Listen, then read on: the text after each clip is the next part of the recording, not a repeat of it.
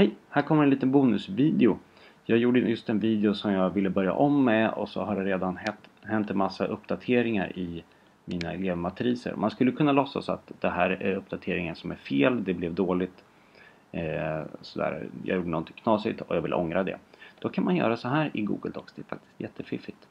Man går in i arkiv och går in i omarbetningshistorik. Så kan man se att här har det hänt olika saker en ändring, en ändring, en ändring och sen kvart över tolv idag Los Angeles tid så såg saker och ting ut på det här viset istället. Så jag så vill jag ha det, återställ till den. Så. Så ser den ut som den gjorde tidigare idag och jag gör samma sak med Mattias och Johan 1. Omarbetningshistorik. Backa tillbaka till hur det här var för en halvtimme sedan. Återställ. Man kan ju tycka att det här är ganska knöligt och behöver göra det för hand i alla matriser och det är det. Det har hänt mig två gånger hittills att jag blir tvungen att återställa grejer manuellt på det här viset. Det är inget roligt men det är väldigt skönt att man kan göra det.